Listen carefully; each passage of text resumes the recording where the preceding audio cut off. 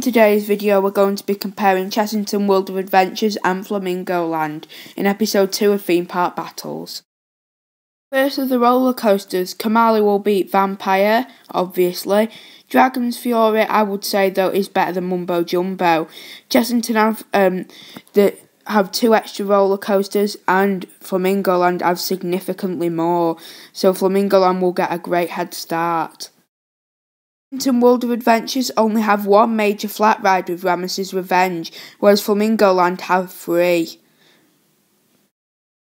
The score now is 6 to 11 to Flamingo Land, but Chessington are slowly creeping up as they will win four family rides. They've got a great selection and they definitely deserve it.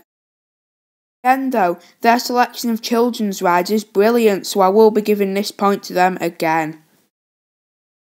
Chessington is only one point behind Flamingo Land now, as they gain some more points for having the best theming and the best landscaping. The place looks lovely, it's got a great wild theme. Um, yeah, it looks brilliant, so I'd say that it gains the advantage, but not by much because Flamingo Land still does look good.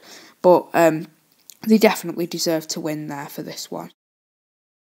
Merlin Parks have great food too, from pizza pasta buffet to the burger kitchen, things like that. So um, I'm going to give them the points for this too.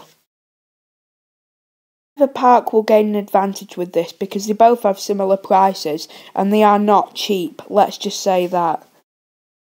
Finally, the staff, and come on, any staff have got to be better than some of Flamingo Lands. I mean, some of them are just so miserable and just so unfriendly. Um, they just seem like they just can't be bothered at all. But some aren't, but the vast majority are. So I'm going to give Ch- um, Chessington the points. Well done to Chessington, they win. The best, the best theme park here. Both of them are good though, but the Chessington just has come out on top. For watching, I'll see you in the next few days for my next video. Bye now.